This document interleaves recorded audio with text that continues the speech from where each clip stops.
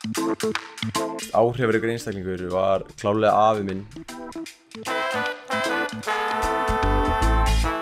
og ég hef alltaf litið mikið upp til hans og verið með mikið við NSD að, að tækla hlutina bara beint þegar að, að því kemur sko.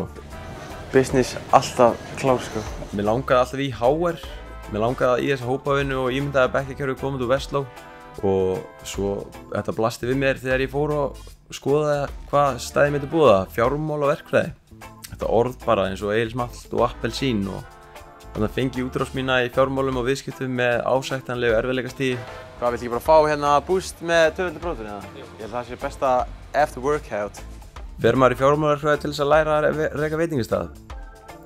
Nei, það er nú engin sérstök lína í þessu sko.